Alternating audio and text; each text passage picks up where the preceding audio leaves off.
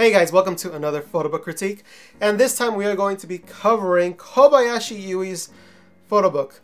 Now, first time for her, Keyakizaka, as we can see, have recently been releasing photo books, and this is Kobayashi Yui, Yui Pon's photo book, so we'll be able to go ahead and take a look at it. As always, I look at the covers, the inside covers, first page, last page, and any photos I want to highlight on the inside. Now, if you're interested in Kobayashi Yui, first of all, I should say, if you want to support her, go ahead and pick up this photo book. I will talk about my opinions of it at the very end of the critique, so stick around till the end to find out who I recommend it to.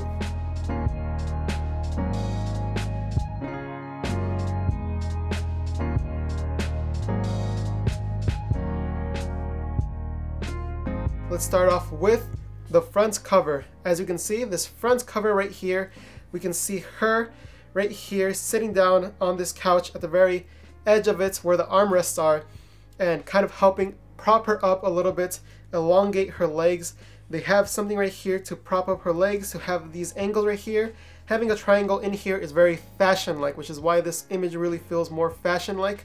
And having this gradient right here really helps draw you into her that's a little bit brighter than this dark edges right here having the blue over here with the blue around makes it very monochromatic and a very nice image overall. Only critique really would be the fingers right here, they're a little bit too angled for me, and usually that means a little bit of nervousness, so having it a little bit more smooth, relaxed will help her seem a little bit more confident. So yeah, nice image to start it off. And also want to say this is the Amazon edition cover. This isn't the regular edition cover, so if you have other editions, go ahead and look at those and let me know what you think of them. And then looking at the back, we kind of get a scenario of she's not in her regular world. She's herself as she is, but with other people here, kind of sets her apart and says, hey, I'm not in my world anymore. I am me still, but I was just transported here out of nowhere. All right, now we look at the inside cover, and right here we can see it is her in this red dress repeatedly with the confetti. We'll see how the confetti comes into play in the actual photo book. But looking at this and the other side, it's very much of the same scenario of the very same section of the photo book because she probably had her birthday when she was photographing this photo book. So it's a nice little celebration of her. And then when we open up, we see a little bit of a message from her. We see something about Igeri Suroke Mae Shashinshu stuff. Something about like a message about them, like thanks staff and England for doing this, something like that. But most importantly, we get to the next page, which is opening with these two images right here. Again, her in the brand new environments, kind of reflecting the back cover and all the different types of people that are here in this world that she is in now outside of Japan, even though she is still wearing the kind of classic sailor outfit. And actually really like this image right here with the moving background in the back, but yet her totally tack sharp focus and kind of light facing her right here in the face. Very nice. We, have, this is an interesting images because we have her right here posing in front of these two people right here. I don't know if he's like taking picture of the photographer, but this is an interesting choice. I haven't seen something like this before in a photo book, so I think it was really interesting. And if you haven't noticed, her expression is kind of similar throughout. Get used to that. But we do get a little bit of a change of expression, and we see that in this one right here. She is smiling a little over here, posing in front, and we have her right here, a little bit more of a concerned face. It's a slight variance, just like how this one's a slight variance on the other one. I like this little hint at 46 right here. She's posing in front of door number 46. Then we have these images right here. I feel like they're a little bit too yellow, but I feel like they're maybe going for that sunset mood for these. So I think this might be more of a artistic choice rather than a wrong one. But really, even looking at the next page, it's all really close up. And I kind of wish there was one a little bit farther away so I could get a sense of the environments because otherwise she could be anywhere. She could be in a studio for all I know. Next we have this image right here, which was previewed before the photo book came out. And I have to say this image is really nice. Again, I like my a little bit wider ones. And this one really sets the mood and her wearing blue with this blue background with a little bit of green again all blending in really nice then we move on to this image right here and again you know my underwater images it's a little iffy sometimes, and this one isn't one of those iffy ones. I feel like the water warps her body way too much in this one, so I can't really say they pull it off that well for this one. Though this one, the water doesn't affect it that much, and the nice light is coming in, so they had it exposed for her face, which is why the background is so white. As we can see, we have more of her right here posing. I actually kind of like this one, although it does kind of like give me like a Loch Ness Monster kind of vibe. I don't know, maybe that's just me, but I get that sort of vibe. But I still really like this image a lot. Maybe, you know, going up a little bit more, kind of like bending the back, pulling the head. There's a little technique in photography where you pretend there's a string through your body. Maybe a little bit more of that. That way it doesn't seem so Loch Nessy. and plus showing the shoulder a little bit will help add a little bit more to the body. So kind of like this one, but I feel like she didn't do the pose exactly right. Like right here, she's like trying because you hide the chin a little, but I feel like it's a little bit too scrunched up and not so elongated and elegant. Kind of feels a little bit awkward, to be honest. Now this one kind of going for the cowboy theme. I mean, I get the sense of the environment, so that tells me there was a lot of pre-production into this, where they thought about the location and they thought about the wardrobe. The light color, I don't know, something's throwing me off about this color of light. It might be a little bit too orange and green for my taste. I don't know, something's throwing me off about it. See, but this image right here, I actually really like this image.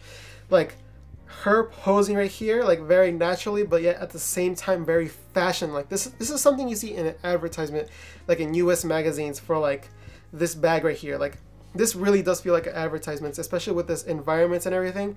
I think this image is so nice. And also a little detail, we have black borders around, not the white ones. Next we move on to these images right here, which were previewed before. This one right here, really nice, having the light in the background, slightly parted lips, showing more relaxed feeling to it. Her arms up in the air, not directly towards the camera, but more to the side, showing more openness, having these triangles right here, more fashion-like. A little bend in the hip, having a little S into it. Overall, really nice image, and especially this hair light right here. You guys know how I love my hair lights. This image right here, if she only a little bit bent it a little bit more, it would have caused a little bit more of a curve, and I think the image would have came off a little bit stronger. Same thing for this one right here. If she just scooted back a little bit more, maybe push back her shoulder blades, this image could have been a little bit more elegant, especially matching the environment that she's in. This one right here, she's a little bit too flat in the back and it's a little too blown out for me to say I like this image. Though this one right here, this one's pretty nice, especially with this nice reflection going on over here, the light hitting her over here at the edge, and overall, it's a, it's a little flat lighting, but I feel like it fits with this theme.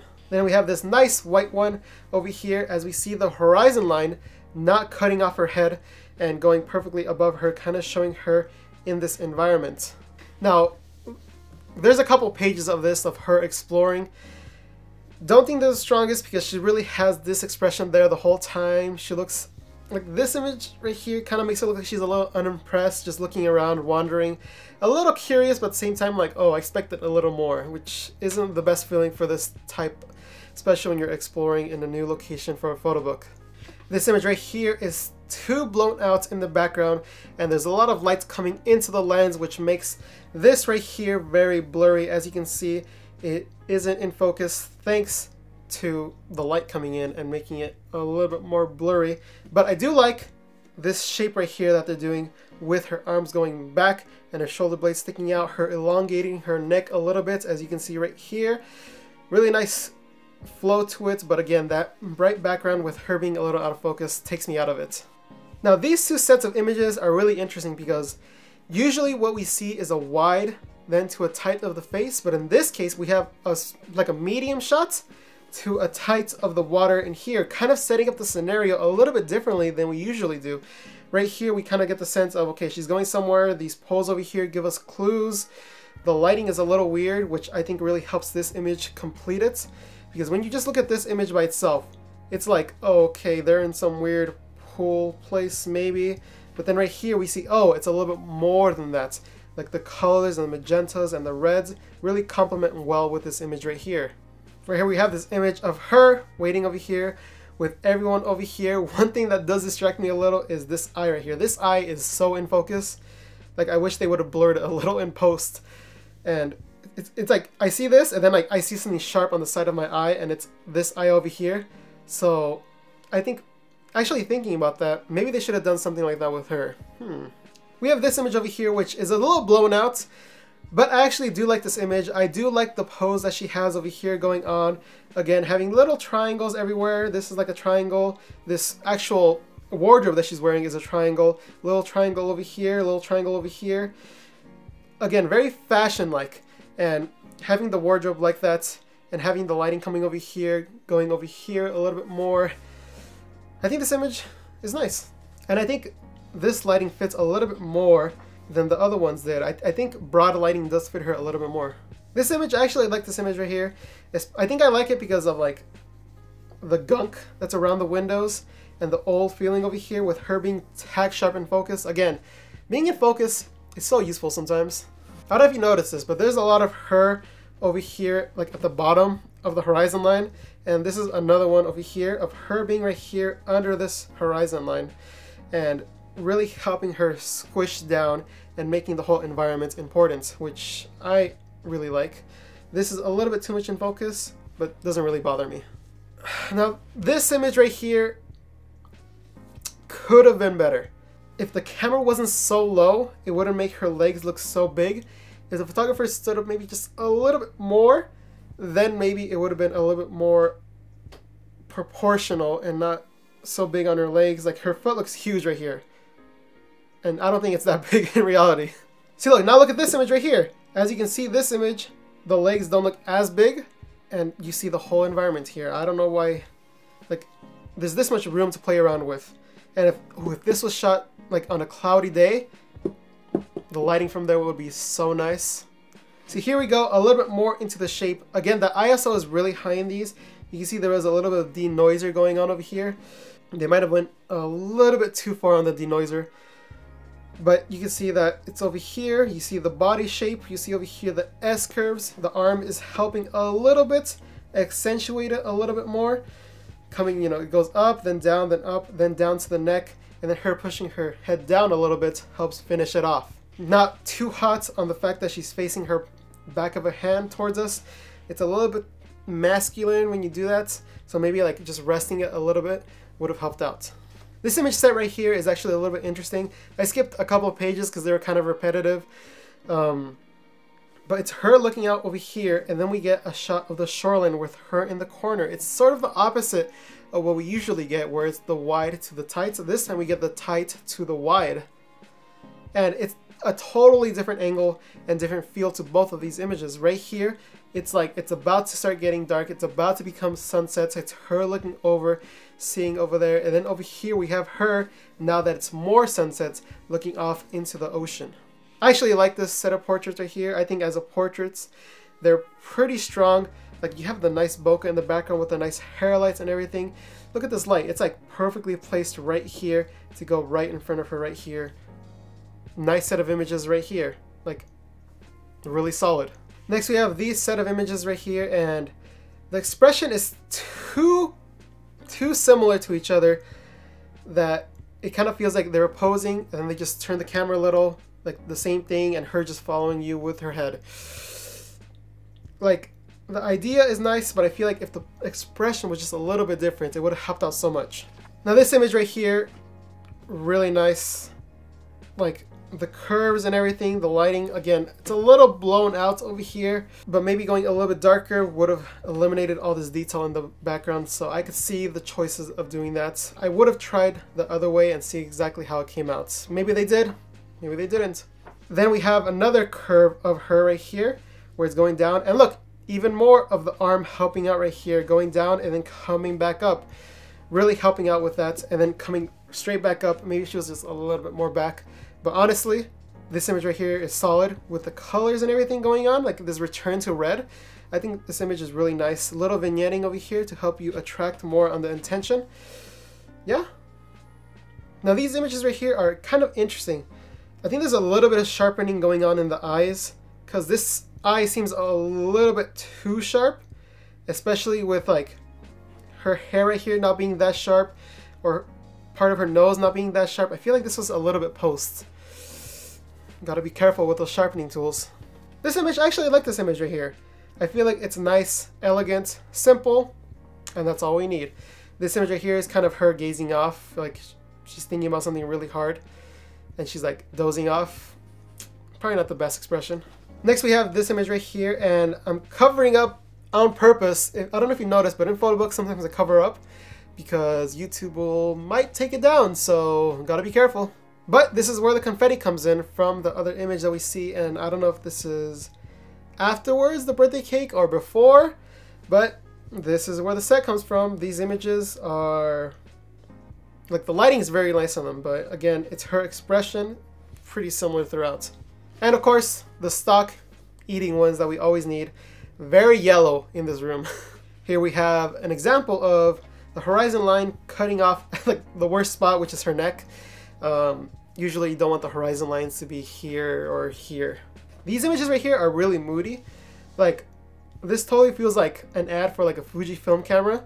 Like, that's the type of feel I get when I look at these images. This one I like.